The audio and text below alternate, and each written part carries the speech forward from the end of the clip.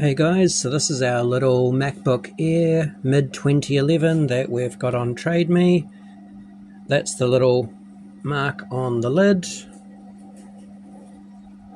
And this is the run the one running OpenCore Legacy Patcher. So it's able to run the Monterey system. Just give that a few seconds to turn on.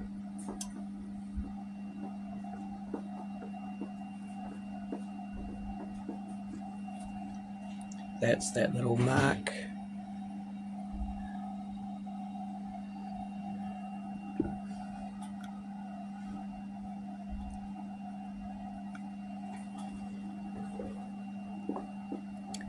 And for those of you that aren't aware of it, the OpenCore Patcher just adjusts some of the files on the device so it can run a later than officially supported system uh, password's just one, two, three, four.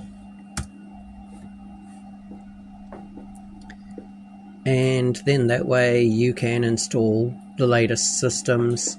You could install Ventura, but wouldn't really recommend it.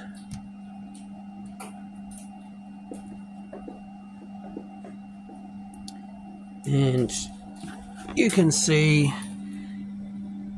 11 inch mid 2011 running Monterey system. So, yeah, it's up on TradeMe.